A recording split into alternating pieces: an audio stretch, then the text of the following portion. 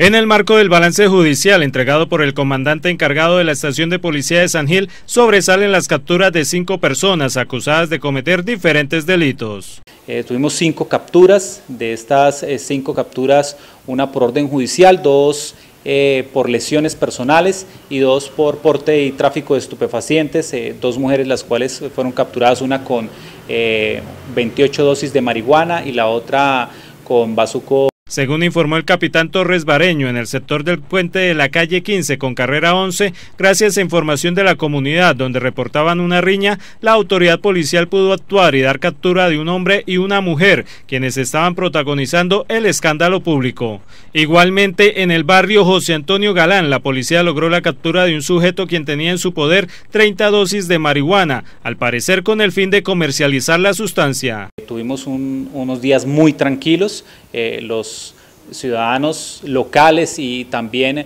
las personas, los turistas eh, vinieron y estuvieron, estuvimos en un fin de semana muy tranquilo, se nos presentaron eh, sobre el fin de semana ocho riñas, las cuales fueron atendidas satisfactoriamente, tuvimos que realizar 12 comparendos frente al Código Nacional de Policía en los comportamientos contrarios a la convivencia, estos por riñas y por porte de estupefacientes, también hicimos este fin de semana. Por último, en el barrio La Playa un sujeto fue capturado por el delito de fuga de presos, ya que se encontraba por fuera de su reclusión, con el cual un juez de la República lo había cobijado por el delito de porte ilegal de armas de fuego.